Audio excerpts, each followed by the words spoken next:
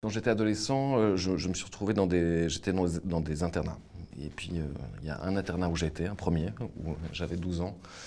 Et on avait un, père, euh, le père supérieur qui était un cinéphile absolu, et qui nous projetait tous les mercredis après-midi ou soir des films d'auteurs. Donc, c'est-à-dire, on voyait Kurosawa, on voyait Ken Loach, on voyait Bergman, des choses que je ne comprenais pas. Donc voilà, ça c'est des premiers chocs esthétiques comme ça, des choses qui se sont inscrites de manière très forte en moi. et J'étais très jeune. Et puis j'étais dans un autre internat juste après, que j'étais pas très bon élève.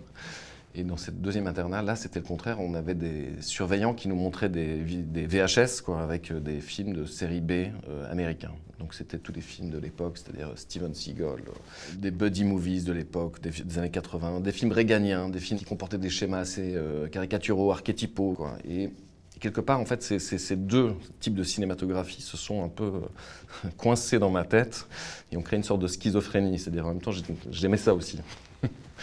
Et donc, quelque part, le, projet, en fait, quelque part de l'autre Lorraine, il retrace un petit peu cette, euh, schizophrénie qui, qui était la mienne.